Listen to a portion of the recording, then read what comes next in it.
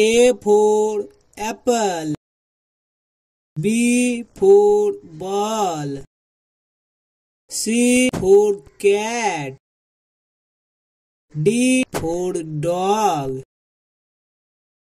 Video पसंद आई होगी तो वीडियो को लाइक एवं चैनल पर पहली बार होंगे तो चैनल को सब्सक्राइब ज़रूर करें और